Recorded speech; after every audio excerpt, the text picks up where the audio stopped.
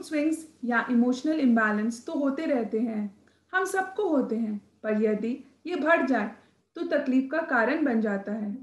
ऐसे ही एक case study मैं आज आपसे डिस्कस करूँगी, जिसमें एक व्यक्ति इमोशनली बहुत ज़्यादा डिस्टर्ब थे एंड कैसे केवी के वैदिक एस्ट्रोलॉजी टेक्निक से उनके प्रॉब्लम का निवारण हुआ।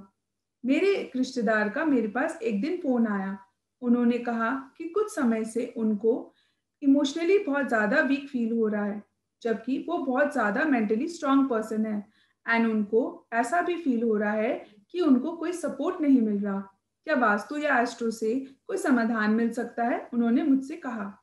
मुझे ये ध्यान आया कि जब मैंने महावास्तु सीखा था, उस समय उस घर में कुछ महावास्तु उपाय किए गए थे एंड कुछ नेसेसरी बैलेंसिंग भी की गई थी। मैंने उनको कहा कि, भैया, आपका घर तो महावास्तु के हिसाब से बैलेंसिंग किया हुआ है।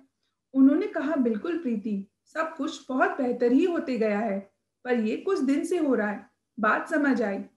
एस्ट्रो के अकॉर्डिंग अगर मैं बात करूँ तो जो टाइमलाइन चल रही होती है, वो भी हमारे लाइफ में चेंजेस का एक बहुत इंपॉर्टेंट फैक्टर एक बहुत इंपॉर्टेंट रोल प्ले करता है। मैंने उनसे उनकी बर्थ डिटेल्स मांगी और देखा कि उनके जुपिटर की महादशा और राहु की अंतरदशा चल रही थी।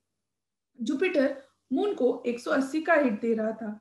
अब ये जो 180 का हिट होता है, ये बिल्कुल फोड़ देने वाला होता है। पर हाँ केबी टेक्निक के द्वारा इसको एक पॉजिटिव हिट में ब्रेक किया जा सकता है। पत्री को देखने के बाद दिखा कि बीच में जुपिटर 120 का हिट दे रहा था। अब 120 क्या करता है? वो बहुत अच्छे से सहयोग करता है। बस, उस जोन में जुपिटर को इंस्टॉल कर दिया। और भैया को मैंने कहा कि कुछ दिन बाद बात करेंगे।